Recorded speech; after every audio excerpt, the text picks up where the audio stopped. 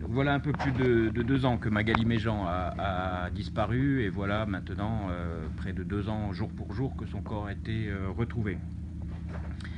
Euh, L'enquête n'a jamais cessé pendant ces deux années et on peut euh, légitimement imaginer euh, la douleur et les interrogations de la famille.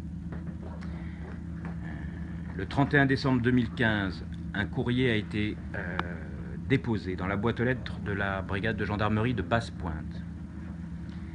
Contenait des informations sur l'affaire Méjean qui présentent un intérêt certain pour l'enquête en cours.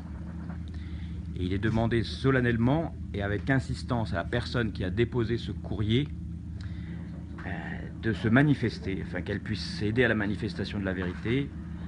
Cette personne pourra soit contacter la gendarmerie au numéro que je vous ai communiqué, se présenter ici au tribunal, demander à voir le juge d'instruction, M. Colombet, ou lui écrire, si elle le souhaite. Elle pourra, cette personne, être entendue, si elle le veut, sous couvert d'anonymat, puisque notre procédure le permet, pour garantir sa sécurité.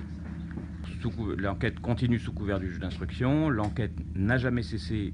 Les gendarmes sont toujours très mobilisés sur cette affaire. Le juge d'instruction, bien sûr, également. La présence du colonel euh, Rideau, euh, commandant la section de recherche à mes côtés, est là pour euh, en attester. Et euh, bien entendu que ces appels à témoins sont utiles et sont nécessaires. Et c'est pourquoi euh, je réitère finalement cet appel solennel à cette personne de venir nous apporter des éléments nécessaires et indispensables. Ce que je, ce que je vous ai dit, voilà, ce courrier a été déposé dans la boîte aux lettres de la gendarmerie de Basse-Pointe le 31 décembre. Donc voilà, nous savons qu'il a été déposé à ce moment-là.